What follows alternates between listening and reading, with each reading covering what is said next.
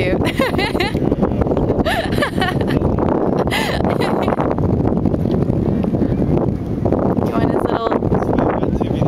he was like freaking out ever since you pulled out. He was like, oh my god, I gotta swim to my daddy. No, because he saw you leave, so he was trying since the moment you